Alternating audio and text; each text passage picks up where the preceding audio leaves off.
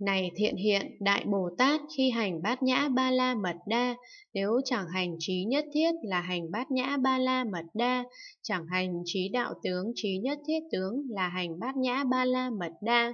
chẳng hành trí nhất thiết hoặc thường hoặc vô thường là hành bát nhã ba la mật đa, chẳng hành trí đạo tướng trí nhất thiết tướng hoặc thường hoặc vô thường là hành bát nhã ba la mật đa, chẳng hành trí nhất thiết hoặc lạc hoặc khổ là hành bát nhã ba la mật mật đa, chẳng hành trí đạo tướng trí nhất thiết tướng hoặc lạc hoặc khổ là hành bát nhã ba la mật đa, chẳng hành trí nhất thiết hoặc ngã hoặc vô ngã là hành bát nhã ba la mật đa, chẳng hành trí đạo tướng trí nhất thiết tướng hoặc ngã hoặc vô ngã là hành bát nhã ba la mật đa, chẳng hành trí nhất thiết hoặc tịnh hoặc bất tịnh là hành bát nhã ba la mật đa, chẳng hành trí đạo tướng trí nhất thiết tướng hoặc tịnh hoặc bất tịnh là hành bát nhã ba la mật đa.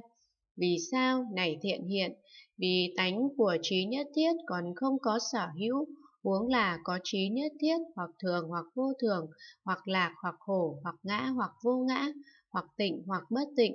Tánh của trí đạo tướng trí nhất thiết tướng còn không có sở hữu, huống là có trí đạo tướng trí nhất thiết tướng, hoặc thường hoặc vô thường, hoặc lạc hoặc khổ, hoặc ngã hoặc vô ngã, hoặc tịnh hoặc bất tịnh.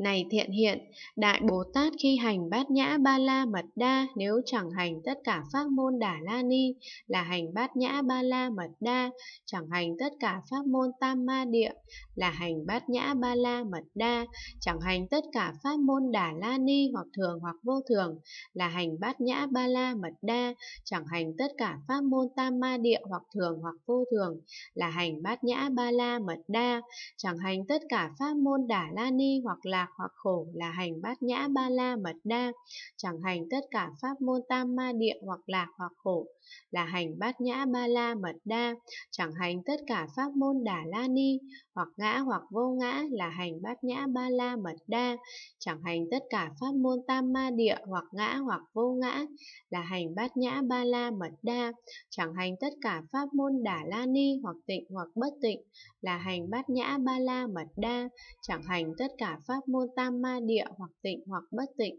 là hành bát nhã ba la mật đa. Vì sao? Này thiện hiện, vì tánh của tất cả pháp môn đà la ni, còn không có sở hữu huống là có tất cả pháp môn đà la ni, hoặc thường hoặc vô thường, hoặc lạc hoặc khổ, hoặc ngã hoặc vô ngã, hoặc tịnh hoặc bất tịnh, tánh của tất cả pháp môn tam ma địa, còn không có sở hữu, huống là có tất cả pháp môn tam ma địa hoặc thường hoặc vô thường, hoặc lạc hoặc khổ hoặc ngã hoặc vô ngã, hoặc tịnh hoặc bất tịnh.